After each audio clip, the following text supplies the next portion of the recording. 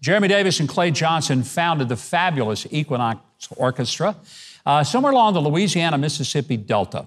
Their love of jazz, swing, and big band sounds, well, it's thrilled audiences all over America for the past 25 years. During the COVID shutdowns, these guys recorded not one, but three brand new albums. I want you to welcome to the show the fabulous Equinox Orchestra founders, Jeremy Davis and Clay Johnson. Yeah, thank you. Excited to have you guys So here. happy to be here. You know, that shutdown of a year turned out to be pretty good. Three albums in a year. It was a positive note. That was one of the one of the bright One of the positives. Yes. What kind of music are people going to enjoy when they get to the fabulous Equinox Orchestra? We always like to say that we use the big band as the luxurious musical vehicle of choice. We play everything from Elvis to Ray Charles to Johnny Cash and original music, and uh, of course the Sinatra stuff from the 50s and 80s pop songs. We do a little bit of everything. Right, we, we got our start in uh, uh, as a big band playing these kind of big Dean Martin Sinatra type of songs. but Yeah. We're from North Louisiana, so uh, we, we kind of went back to what we know and what we love. You, you didn't grow up that far from me, brother. I know exactly where you come from. But you know, I love this style of music that we don't hear hardly ever anymore.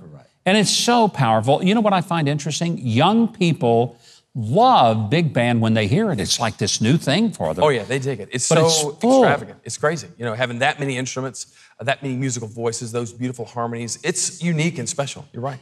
You guys grew up together. You were kids playing together. So, I mean, this is something you've done most of your life. For a long time, uh, the, story we tell that our mothers will deny to their grave is that uh, when we were in seventh grade at, in West Monroe Junior High, uh, we had every class together, and that's the truth. Huh. And uh, our moms discovered that on the night of open house. They went to all the classes and realized they were in every class together, and they said, "Hey, our boys have to be friends," and so they forced this friendship upon. Us. It us. was uh, a bit of an arranged friendship, if you will.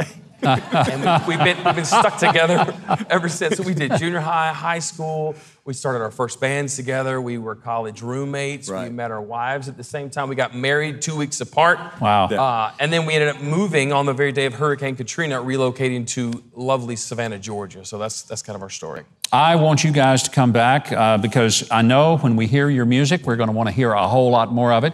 People are going to love the fabulous Equinox Orchestra. I guarantee it. I like it. And I do want our audience to get connected to you guys in the fabulous Equinox Orchestra. And in order to make sure that happens, we're going to turn it over to Keith Bilbrey, who has a really good knack for telling the people at home how to get the music.